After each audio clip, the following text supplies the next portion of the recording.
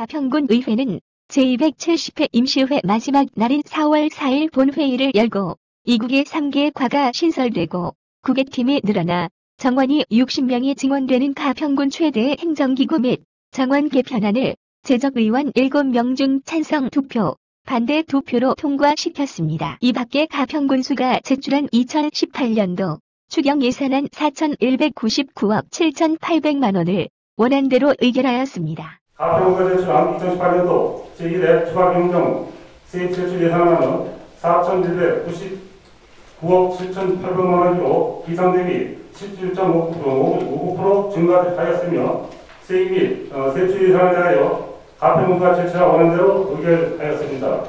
재선 의원 7명 중 찬성 5명, 반대 2명으로 가평군 행정기구 및 정원조례안은 가결되었음을 선포.